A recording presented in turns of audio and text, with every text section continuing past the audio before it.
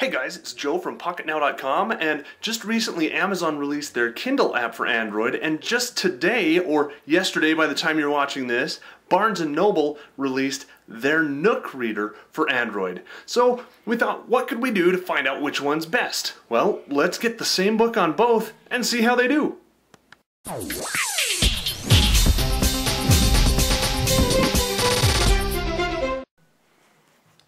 Okay, so what I've done is I've gone out to Amazon.com and BarnesandNoble.com respectively. I've set up accounts on both, and I've purchased I, Robot by Isaac Asimov. I thought it was fitting because, well, this is an Android and I, Robot talks about robots. So, hey, not every ebook that you find is going to be available for Kindle or for Nook. So doing a one-to-one -one comparison was actually a little bit tricky for me to find a book that was on both of them. I'm sure there's an awful lot of overlap, but keep that in mind. You might have to have an account on both, which I'd really like it if there were a unified ebook reader that would read either Kindle or Nook books, but that's a uh, topic for another article. So let's jump right in. Since the Kindle app came out first, let's take a look at it.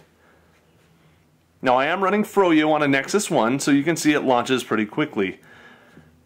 I added this just a little while ago, and you notice that automatically upon starting the app, right now I've got I, Robot in there. I haven't opened it, I haven't done anything with it, but using WhisperSync, which is Amazon's automatic syncing protocol, it's automatically pushed that to my phone. So I've not seen how fast this stuff loads, so let's go ahead and take a look.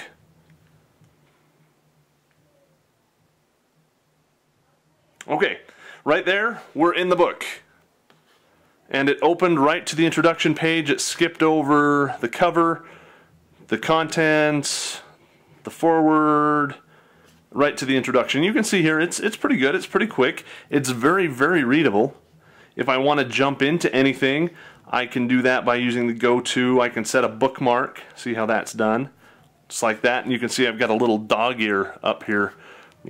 See if I can zoom in a little bit there. I've got a little dog ear up in the corner to show me that this is uh, page marked. I, I, don't really like that because dog earing your pages isn't the best practice for books. I'm a hardback fan myself. Uh, and I don't like it when people dog ear my pages. So I would like to have seen like a little bookmark um, icon or something to let me know, hey, here's here's where your your page is. But you know, a dog ear works just fine. You can see when I scroll to the next page, that dog ear stays on the page. Also, I can change my view options, change the background color to sepia, which is a little bit easier on the eyes, change it to white text on black, which is a lot better for battery life. And I can also adjust the brightness, if it'll let me slide this. So it won't let me slide, but it'll let me tap various positions apparently. So I can change the brightness here and that helps with battery life as well. So overall, not too bad. I'm going to go ahead and remove that bookmark. Scrolling between the pages is very quick, which I like in the Android version a lot more than the actual Kindle version. So it does its job, it does it pretty well. Not bad. Let's go back now, and uh, you'll notice down here that it saved the furthest location. Kindle will synchronize your bookmarks and your books across many devices. So I could go to uh, a Kindle if I actually had a Kindle device and be able to pick up right where I left off reading in my Android phone, which is really a cool feature. Um, the desktop version as well. So next, let's jump into Nook. Tap on Nook. Takes a little bit longer to load, or it looks that way. A little bit different user interface, and you'll notice right down here, I, Robot is in my library, but it's not downloaded yet. So to do that, I actually have to tap download and I'm over Wi-Fi here. Didn't take too long at all as ebooks are generally relatively small. So we'll go ahead and open that now. I like the cover on this a lot better. The experience looks better. And if you notice down at the bottom here, we've got this little scroller to scroll you through the pages. So I think that's kind of a neat user interface element. It lets you jump through large sections of the book, kind of like rifling through the pages of a, uh, a paperback or a hardback book. But let's get to page turning. Now, you might not have seen that. Let me show you here a little bit slower. I can grab here and look at that. You see how I've got kind of a page and I can flip it all around here. it really looks like I'm turning a page. And the same thing goes backwards. It looks really nice. It's very fluid. Turning the pages is just as fast here as it is, and I can go through really quick if I want to without much animation at all, but if I just kind of want to leisurely turn the pages, I can do that. I like that a lot more than I do on the Kindle app, and it really surprised me. Now you'll notice up here a little plus sign.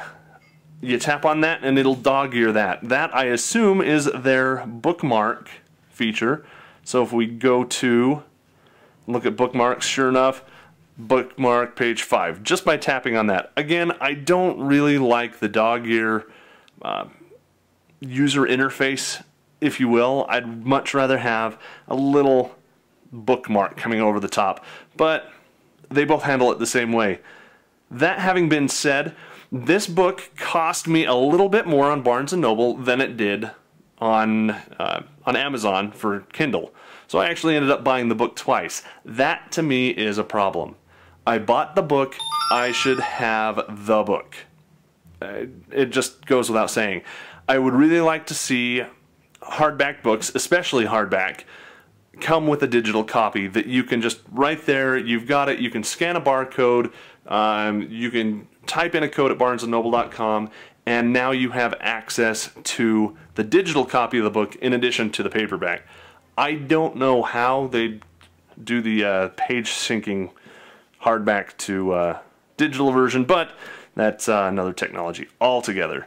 Now, as I understand it, if I want to synchronize where I am here, I have to push either that sync button or that sync button. It doesn't look to me like it automatically syncs, though I could be wrong. Um, which might be okay, you know, if you don't want to sync stuff up, you have control over your synchronizing, whereas on the Kindle app, it automatically syncs for you. There's something to be said for each method. Both apps, as you can see, have a relatively good uh, user interface. I happen to like the way the, the Nook lays out your library a little bit better than the way the Kindle app does. But both of them, if you go to shop for books, immediately kick you over to the website. So I, I don't necessarily like that. Uh, I'd like to have some kind of a store inside the app rather than having to go to a mobile version of the web, but you know, that's just me. Um, you know, if I wanted this, I could go ahead and tap to buy now. And as long as I have my credentials saved in the web browser, for, in this case, Barnes & Noble, it'll automatically deduct that amount from my credit card and I'm good to go. But if I want to go back to here, I've already got that saved here. And the same thing goes with Kindle. I've got my credentials, my username and password, saved in the app.